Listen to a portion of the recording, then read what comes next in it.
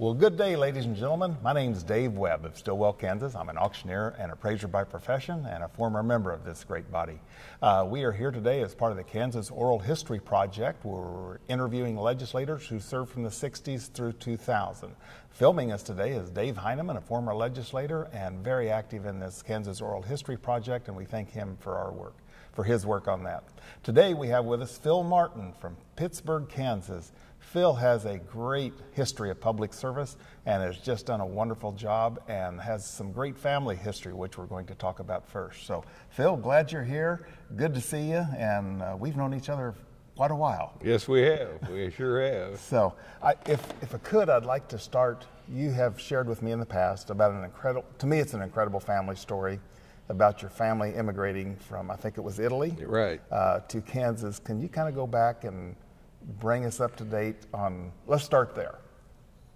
My family uh, came from around Turin, Italy, and uh, my great grandfather and great grandmother uh, immigrated to uh, uh, the uh, Americas around 1885, and they had eight kids.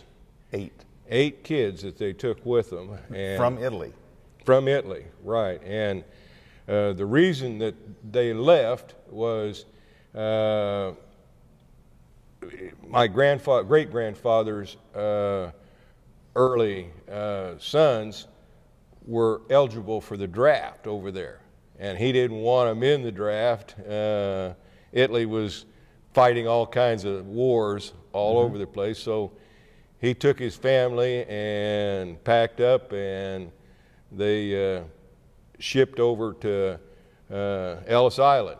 Okay. And from Ellis Island, they took the train to Oswego, Kansas. Wow. took them a week to get to Oswego, Kansas. And I bet with eight kids, that was a pleasant trip. Oh, unbelievable.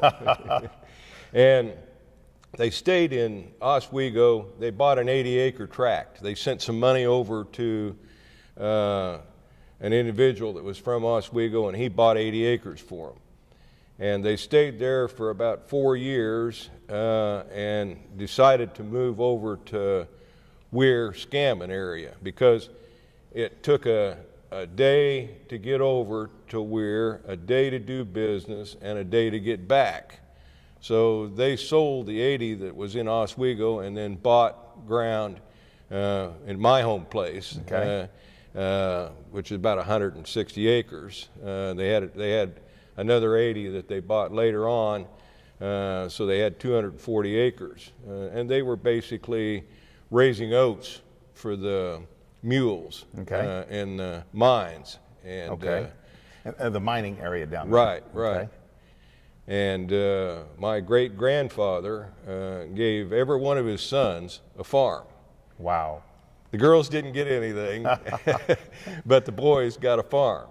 Wow. And uh, my grandfather uh, got the place that I've got right now, the 160 acres. So that house that's on it is the original old that's right. farmhouse. Yes. Wow. Yeah.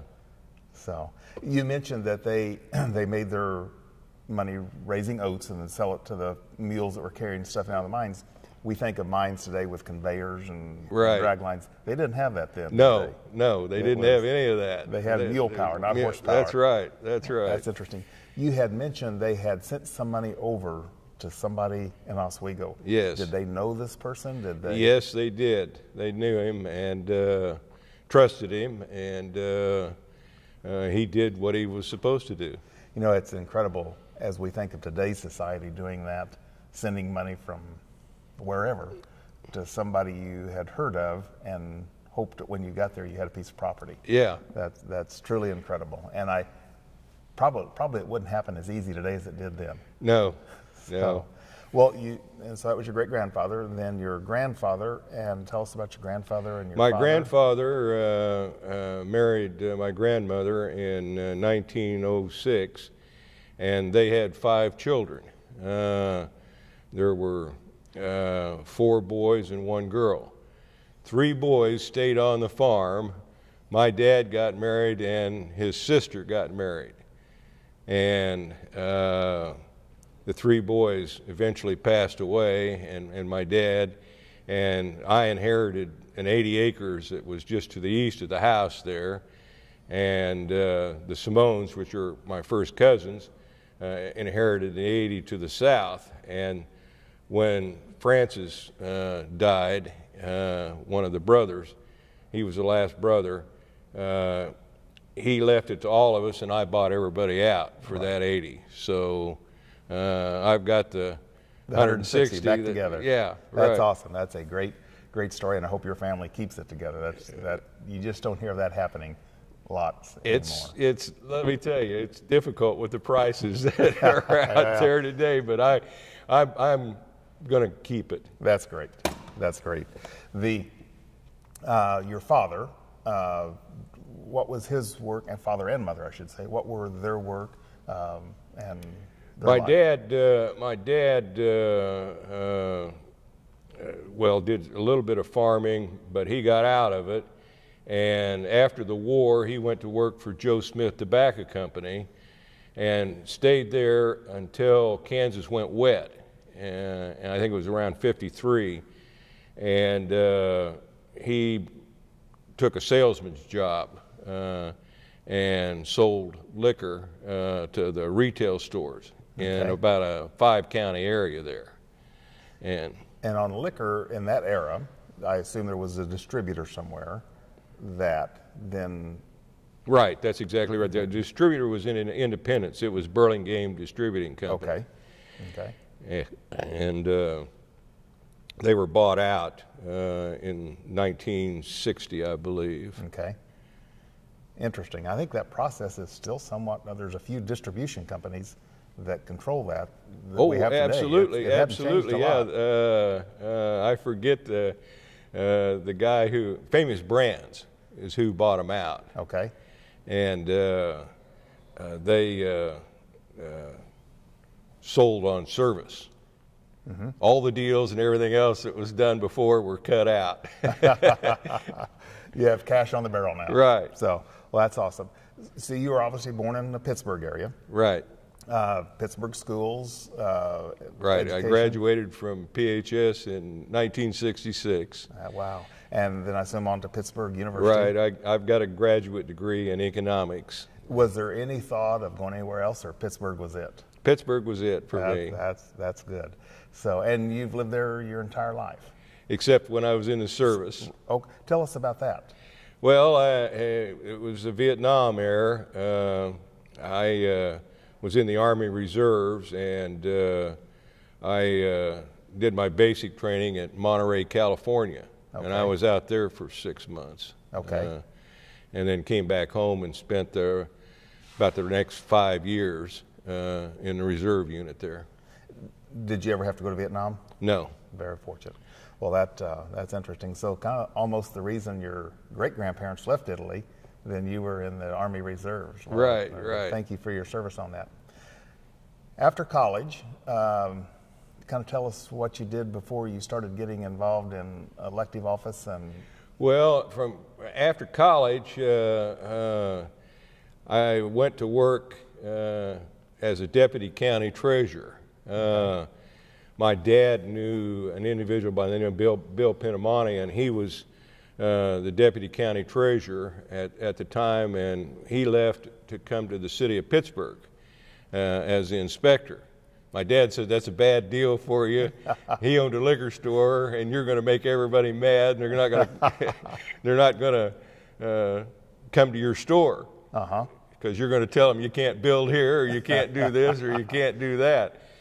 And I went over and applied as as deputy county treasurer, and and uh, uh, Gene Masterson hired me for that position. Okay, so you you applied for the deputy treasurer, and then after that, then you were elected treasurer? No. Uh, Gene, unfortunately, uh, uh, was embezzling money. Uh oh. And he got caught. After that, uh, Governor Bob Docking uh, okay. appointed me as county treasurer. Okay. I never did run for county treasurer. Uh, I wanted to do something else, and the legislature passed a bill that said that any county over 10,000 had to have a full-time county appraiser. So I moved from the county treasurer's office to the county appraiser's office, and I was the first county appraiser in Crawford County. Okay. And at that time, that was obviously pre uh, appraisal that took place in 85, which we'll talk about later. But it, it was a little different scenario. Oh yeah, I mean, uh, you you, you didn't revalue real estate. Real estate was set, and the only thing you were doing was picking up the additions and, and new buildings and stuff like that. Personal property was the major issue that you had uh, back then, uh, and and inventories were taxed. Uh, uh, farm machinery, oil and gas, uh, you know, the whole personal property gamut. You know, I remember uh, as a small child, in, or not a small child, but a younger child, um, in, in that time we had a township person who would come around and fill out the forms. And his name, in our area, his name was Wayne Hanson, and he showed up at everybody's house at dinner time. Wayne was a bachelor, and, and he had this long rendition. He'd go, how many chickens you had, and how many cattle, and it, it, how much money you had in the bank, and We did that uh, for the first uh, year or so, uh, but then it changed uh, after that point, uh, and the appraiser uh, started picking everything up at that point. Yeah, and I remember I'd, I'd, for some reason I'd saved all that stuff and donated it to our county assessor's office. They had it on display for a while, and I'm sure anybody, anybody that would have ever gone in there wonders today why would they care how many chickens you had. Right, right. So, but uh, it was, Well, people used to hide stuff. You Oh, know, yes. I mean, it was a game. Yeah. Oh, you, i when you knew that era, I mean, people would talk about taking their tractors over to the neighbors or moving the cattle or Right, doing right. these things. So it, you're right. It was it was a game. Well, then from there, um, I think uh, after John Carlin was elected governor, he was Speaker of the House, and then elected governor, ran against Bob Bennett, and then appointed you to Property Valuation Director. Is that That's correct. Yes. Okay. Yeah. So tell us a little bit about uh, coming from Crawford County to, to being the Director of Property Valuation and some of that history. Well, it it was a, a time when uh, the issues uh, that were out there uh, was the, the severance tax was the, the, the was big it. issue. Yes. Uh, I, uh, I came into office, there was about uh, 60, 65 people that uh, were under me, and I had uh, personal property division, uh, real estate division, and utilities. And uh, all three of those we worked uh, each year. Uh, uh, of course, uh, the, the real estate uh, was still fixed Right. because uh, the legislature hadn't addressed the uh, the reappraisal Right. issue. Uh, but it was coming. Uh, the, the like I said, the first two years uh, were primarily uh, severance tax, uh, and uh, we would appear before uh, committees uh, on taxation and uh, go over what the property tax was doing. And, and uh, when I was first county appraiser, oil was selling for $3 a barrel. then it went Can't to buy a gallon of gas for that. yeah, today. now it went to then it went to twelve dollars, and those guys who had oil thought they were wealthy. yes. And uh, I remember Frank Gaines ran for Congress after Ah, yes. after uh, uh, oil went to twelve dollars, and he financed his own uh, campaign. uh, it went up to about forty dollars, uh, and it was difficult to set the price because that's as of January the first. Right. Uh, it was when you'd set it, and that first year I think it went to about twenty-five dollars. I set it close to that. Right. The counties that had oil all of a sudden were filthy rich. I mean, they had uh, valuation uh, uh, increases that were significant. Right. And of course, I changed the guide around a little bit. I got sued. Uh, I think I had like four or 5,000 people that sued me. Charlie Joseph was chairman of the tax or board of tax appeals, and Charlie uh, combined all the cases. He, he just put them Mm-hmm. all under one, and And my guess is most of those 5,000 were probably members of the Kansas Oil and Gas Association. oh, absolutely, yes, yes, yeah, yeah. Yes. Well, and I, in 1978, I think, is when I was elected that first year, and that's when we first met. I was as green as green gets, and uh, and I'm sure after we met, you said, "Who's this guy that doesn't know anything?" but um, I think that's when we first met, and the severance tax was the hot issue of that Right. of that era. And I remember the discussion being, "Man, if we have this, it'll take care of education for for eternity. We will never have to come back Right. and have another funding item for education." I think it's played out a little different than that. Absolutely. And education has been uh, the uh, uh, funding question almost every session since that point in time. Right. And there's been new legislation for that. Um, as property value, you talked about setting the property for the utilities. Uh, utilities obviously includes electric, railroad, and some of those. Tell us how that process worked. Well, uh, the railroads were uh, the primary, it was a unit valuation uh, system, and you would value the property as a total unit uh, rather than segregating out uh, individual uh, railroad uh, cars and all the rest of it, the track and all that. It was combined as a unit, uh, and it was primarily based upon income. The income was the the Driving factor. because there wasn't a, at that point a lot of sales uh, of utilities. Uh, there still aren't, but there's some. Uh, the railroads uh, had a federal act called the 4R Act, and they all sued me uh, because they were at 30% and they said everybody else that was out there, the oil and gas, the real estate, and whatever else, uh, was around 12%. So they were seeking a reduction of 30% down to 12%. Okay. And we went to federal court, and uh, Judge Rogers, federal judge, uh, ruled in their favor. Uh, we had told the governor, uh, we're going to lose this case. Before you ever went there. yeah, before we ever went there. He said, go ahead and get back and, and, and, and take it to court. and that was still Governor Carlin then? Yes. Okay. Oh, yeah, yeah. And uh, we would meet with him maybe once a month and advise him as to what was happening uh, with the case. But in the end, uh, we lost, and uh, uh, the railroads got a reduction. That began to trigger the reappraisal issue uh, In the state. in the state, yes. At that time, how many railroads, about how many railroads were there in the state? I think when I first came in in 1978, uh, there were about 35. When I left, I think there were about six or seven.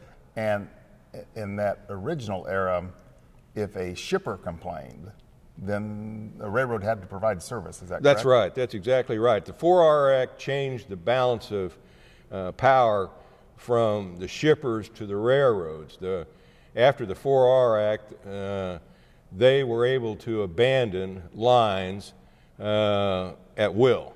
Uh, I mean, the shipper might might have griped about it, but it didn't That's do any do good. It didn't do any good, and there were hundreds of lines that were abandoned. Right. I mean, just all over the place. Right. And that set up uh, uh, a company uh, that's in Pittsburg now uh, called Watco. And they do, they're a short line. Correct. And they, they do the hauling to the industrial parks and, you know, around uh, these cities. Because the majors, they didn't want to do that anymore. See, see you, small town America. that's right, that's right. Right. And, and of course, today, when you see trains, if they're, most of them are unit trains, and if they don't have 110 cars, um, or if a shipper can't handle 110 cars, they're out of luck. Right, right. That's how Watco grew. Watco grew uh, from just a local to, well, they're almost worldwide now. Wow. Uh, uh, just because of that 4R Act. Interesting. Yeah. Interesting.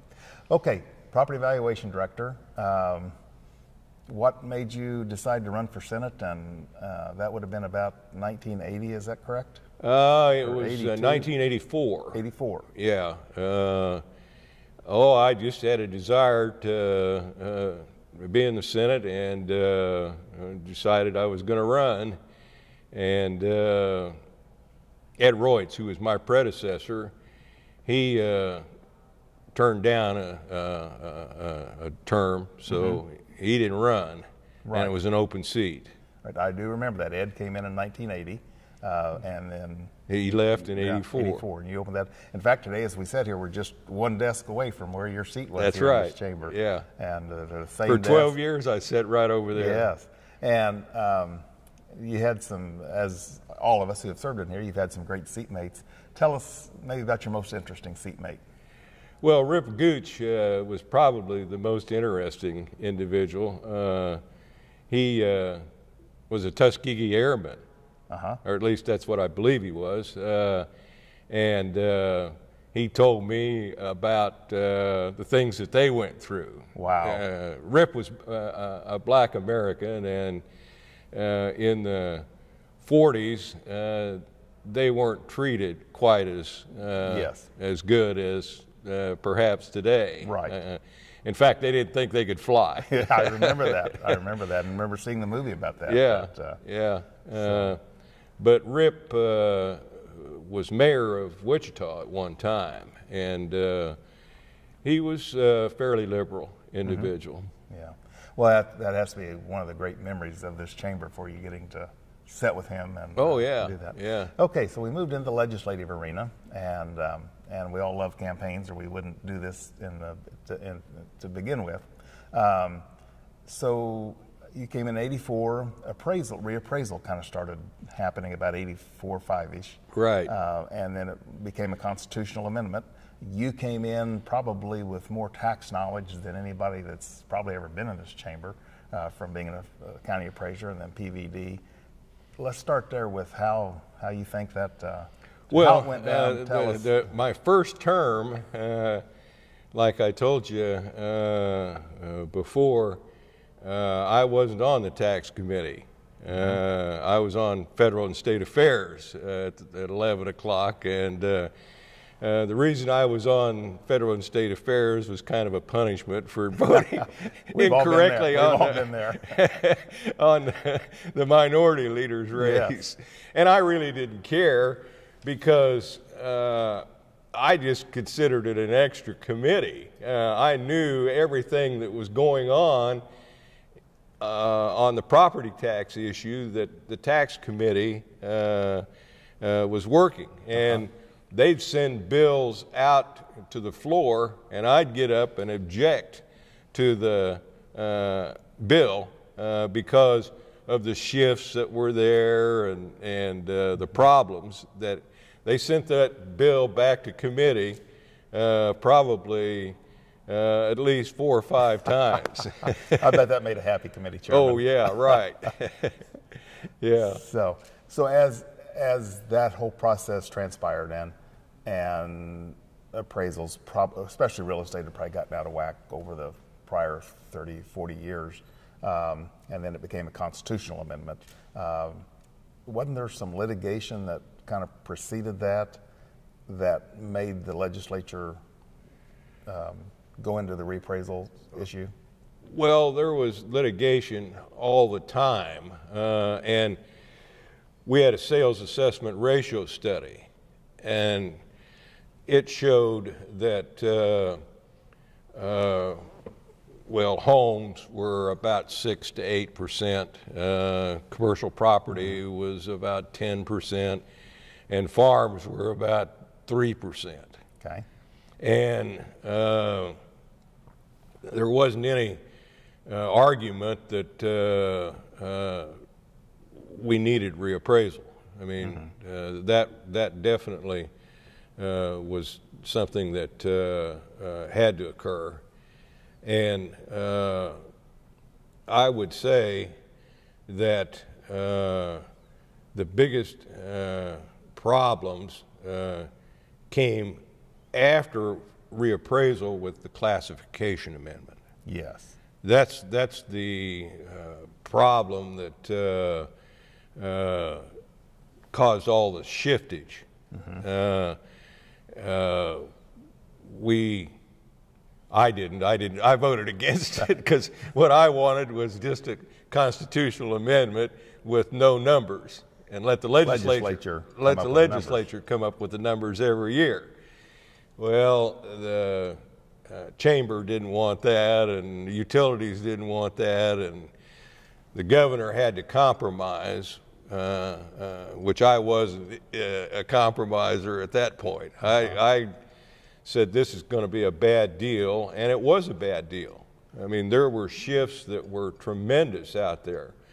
Uh, little restaurants in my community went up 400, 500 percent Wow. because they didn't. The only thing they had was real estate. Right. They didn't have an inventory. It's like uh, Walmart. Now, Walmart might have had a five million dollar building, but they had a hundred million dollars worth of inventory. And And all same way with equipment dealers or feed dealers or seed dealers. All Right. those people who had inventory, the the inventory tax went away with this, and it all shifted to real estate. and farm machinery went away too. Yes, I remember that. You're exactly right. I remember that.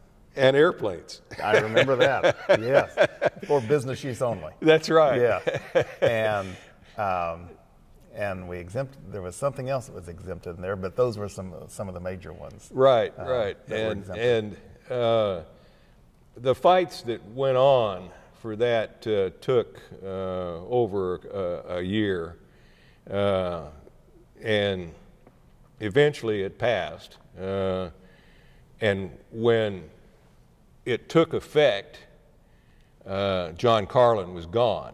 Mike Hayden Was the governor was the governor.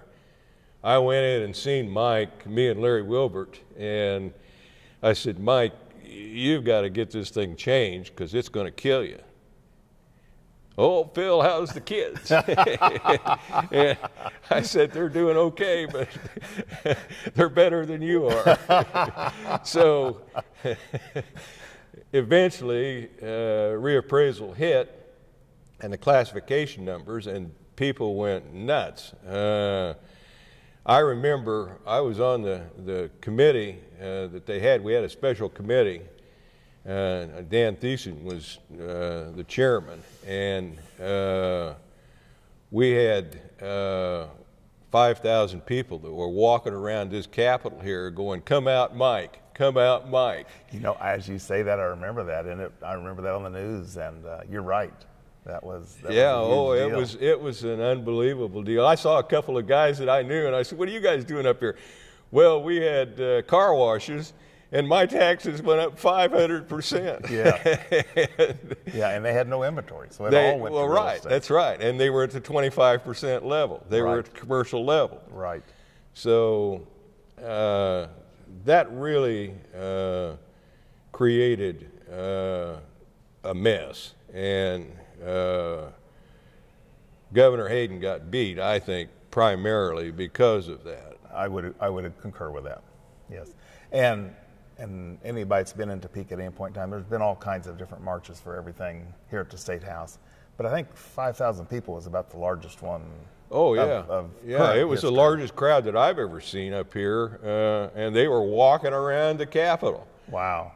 I mean, and Yeah. come out, Mike. Come out, Mike. Well, in that era, we had the driveway around the Capitol that Right. you could walk around. Yeah. And um, and of course, that's all changed today. Well, tell us some other things about um, uh, tax issues, and we'll get to some other issues in a minute. But t- tax issues that might have come up after that that uh, you had well, knowledge the, of. the primary uh, tax issue uh, was uh, myself and Dick Rock. Uh, we uh, introduced a, a bill together uh, that would have uh, reduced the property taxes by about a billion dollars. And we were going to get that from income tax, uh, from uh, the brokers uh, uh, primarily. Uh, Dick used to say, wealth doesn't go in and out of barns. It goes in and out of these uh, small areas where the broker Service type people. Right. Yeah. Right. Yeah, that was that was probably a very wise statement. And and uh, well, it was the truth uh, uh, because uh, I mean, millions of dollars go through those brokers. Right. And barns are filled with hay. Right. right. So, and maybe a few small tractors. Right. But That are uh, exempt now. uh, we passed the Senate with that bill, uh, and I, I kid everybody that we probably created about 125 lobbyist positions that year uh, just to come in and lobby against that bill. Had one for every House member. Yeah. and the House uh, defeated it, uh, and it never came back up again. Right. Who was president of the Senate at that time? Uh, I believe Bud Burke was. Okay. Yeah, and Bud was from the Olathe, the Olathe area. Right. Uh, at, at that point in time. So. Well, I remember Gus Bogina voted for it. Uh-huh. Uh, uh, and so, several of the Overland Park people were uh, supporters of it because of the large amount of uh, reduction Right. in uh, the property tax that we proposed. Right. Um, so let's kind of move from tax issues. Tell us about some other issues um, uh, that are memorable issues. I, obviously, you can't tell us about everyone, and, and there isn't time today to do that. But let's talk about a couple of other issues that uh, that are memorable as your time here. Well, probably one of the most memorable one was abortion. Still here today. yeah, it's still here today, but back then, uh, Kathleen Sebelius and, and uh, several of the uh, House members passed a bill and sent it over to the Senate. And uh, Frank Gaines didn't want to deal with it, so he pulled the enacting clause. Uh, he made a motion, and I think Wint Winter seconded it. And uh, they were a pair. Right, right. And uh, we uh, voted uh, uh, to pull the enacting clause. Well, Frank went home that weekend and he come back and he got his, you know what, root out. and uh, he came to Bill Morris. And Bill and myself and oh, three or four others uh, started to de- develop a, a, a restrictions Right. bill, and uh, it took about uh, three weeks, and we eventually passed a, a, a restrictions bill, sent it over to the House, and it was uh, uh, opposed by several members over there, but it passed. Went to the governor, which was Joan Finney at the At time. that time, yes. And Came in after Mike Hayden. Right, Yes. right. And we went down and said, Joan, you've got to sign this. And of course, you had the opposition that went down to her. And, Price said, says, don't sign this. right, don't sign this. And, and that went on for about a week, and she eventually signed that bill. Right. And I was in the Senate. The other, the other bill that I remember uh, was a death penalty. okay. And uh, I was on the Judiciary Committee. There were 13 of us uh, on the committee, and uh, uh, we had it uh, stopped seven to six. Death penalty bill. Yeah, the death penalty bill. And Mark Parkinson, who was a big, he was the, the big supporter of uh, the death penalty uh, at the time, uh, went to Dick Rock, who was also on the Ju- Judiciary Committee, and said, I'll let you write the bill if you'll change your support over to us. Well, Dick went ahead and wrote the bill out and said, if you change one comma or anything, I'm out. they didn't, and, and it passed the Senate, uh, passed the House, or passed the committee, and then went to the Senate floor, and uh, uh, it passed the, the Senate and went over to the House, and the House passed it, and then it went down to the governor. Well, several of us, I know, I remember me and Dick Bond and one other person uh, from Wichita went down and begged her to veto it. She said, Phil, I'm just mad at you guys. You're just playing games. and, and, we said, That's what we do. We play games up here, and you're part of the game. and, and you've got to veto this. Well, I'm not going to do that. I'm just mad at you guys, and I'm just going to let it become law without my signature. and that's what happened. Interesting. And uh, I don't think we've had anybody killed uh, from the death penalty uh, or executed from that. From that, uh, since and there was a murder that was down in my area, mm-hmm. Gary Kleypas killed a girl, and that was in '93, I believe, and he's still alive and still uh, on death on the death row all taxpayer supported. All yeah, yeah, I'm sure they've spent at least ten or fifteen million dollars wow. on him uh, over the years, right? Fighting and whatever. Wow, yeah, and, and that is you're right. Nobody has uh, been executed since that was passed, and um, I, there's no telling where those laws will go here in the future. You'd mentioned um, back on the abortion issue in '90 too, and I, I was in the Senate with you at that point in time and remembered your work on that. And what's interesting is um, that law that we all put together and you worked on uh, tr- tremendously is still the law of the land today. Right. And there's been obviously a court case on another one, and then the, the legislature wanted to put that on a constitutional amendment, which just recently was voted down. Um, but what's interesting is most people don't stop and think that that work you did in 92 and it was it was truly a bipartisan effort to right. make all that oh, work, oh, yes. which wouldn't happen in this chamber or maybe most chambers across the country today. Uh, and and then with a governor that was, was willing to sign it. So it's it's still the law of the land today, and it works well. And I think it was truly some model legislation. Right. So right. Um, that's great after a time, then you decided to not run for the legislature again, as lots of people do. It's it's uh, one of those things, and, and, I think it's true. People should come here and serve for a while and then go on about their other right. business. It should not become a career. Now, having said that, I know we've had several long-time career service people, and that's obviously been their choice. So you're out of the legislature, um, back to Pittsburg. Um, tell us kind of what you've well, I had rental property. I had uh, quite a bit of rental property uh, and did uh, appraisal work right. Uh, uh, along with uh, the time that I devoted to working the, the yeah. rentals, chasing people. Yeah.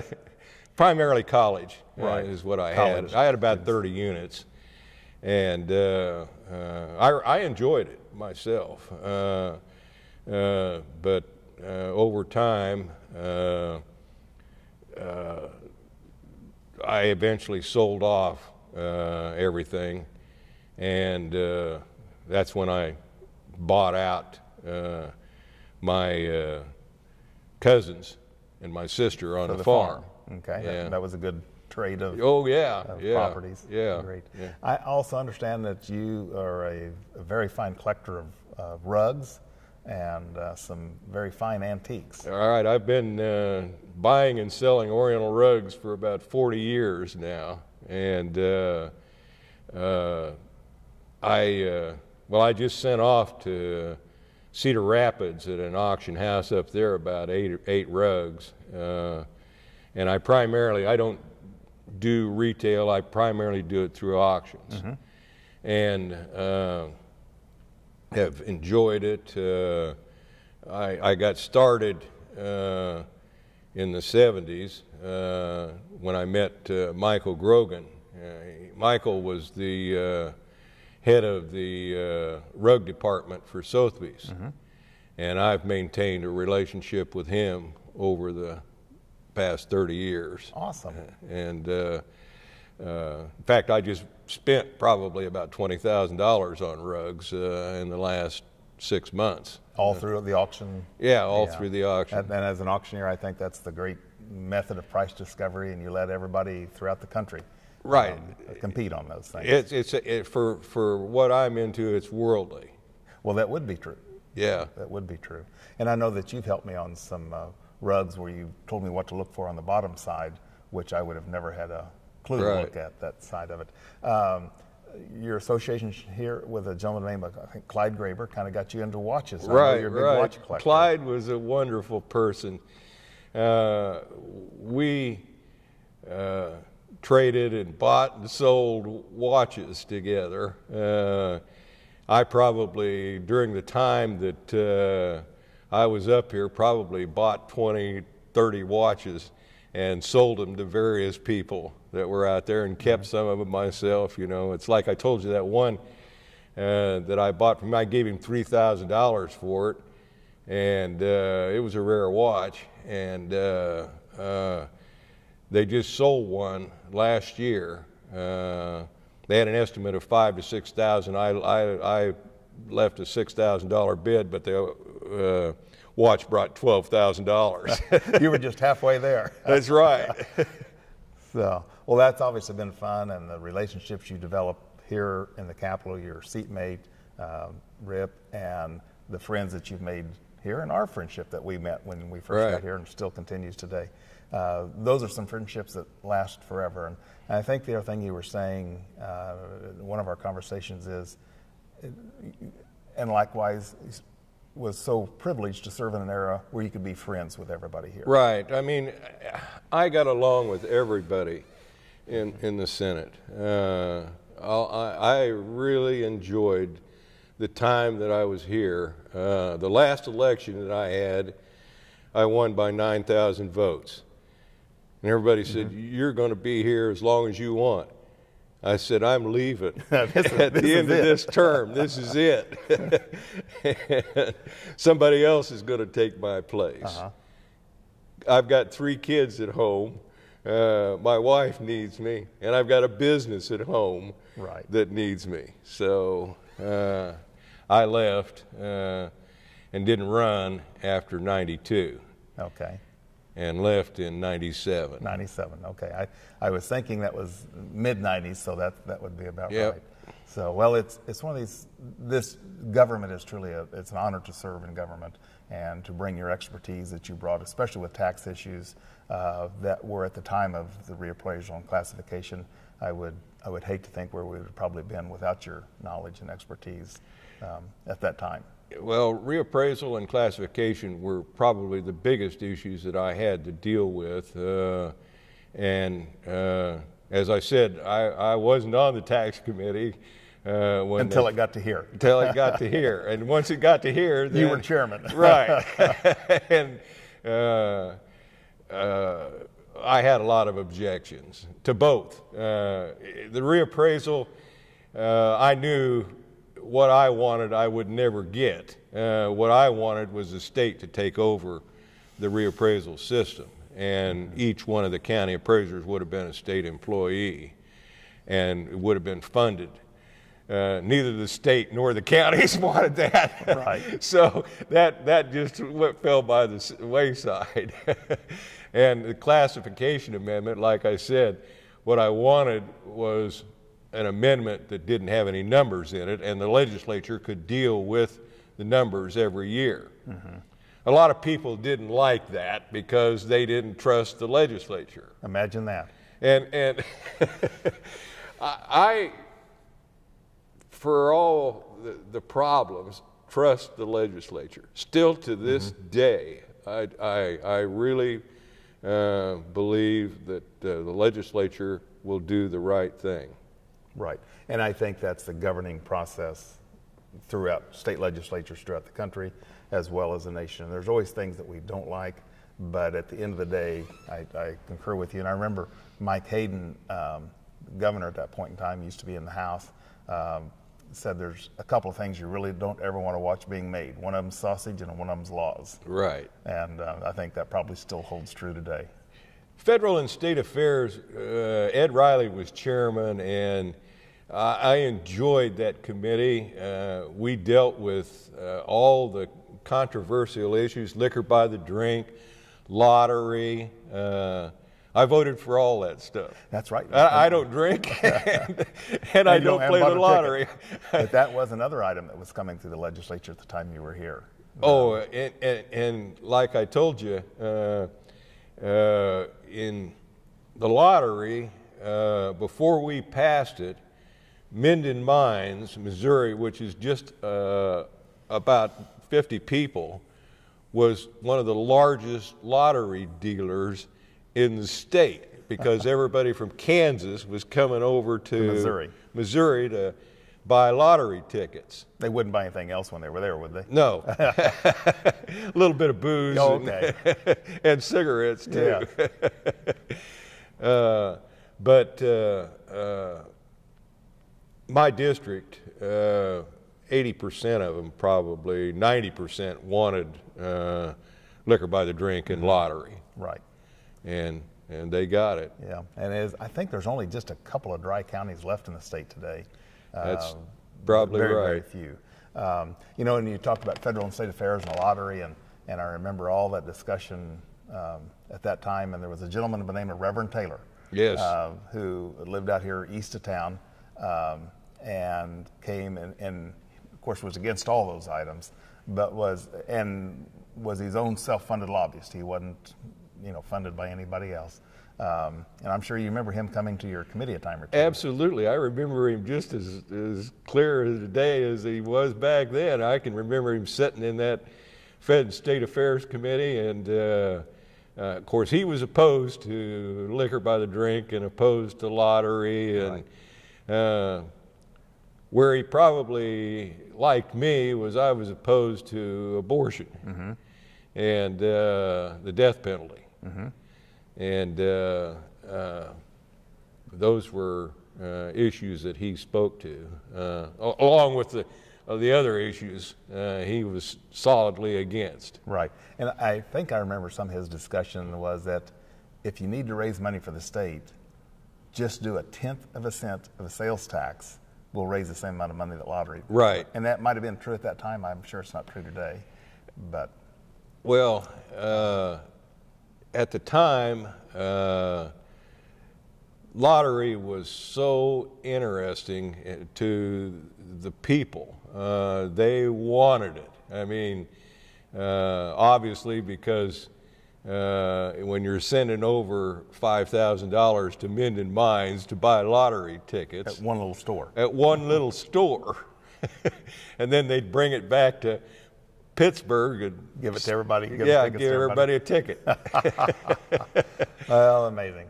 Anything else in kind of closing you want to share about your legislative experience? And well, I enjoyed the legislature. I, I loved it while I was here, and uh, to me, uh, the Senate was like a big fraternity, and uh, you got along uh, with a lot of people. I mean, it was it was an enjoyable experience for me, and. Uh, uh, I, I look back at it and I have no regrets. That's awesome.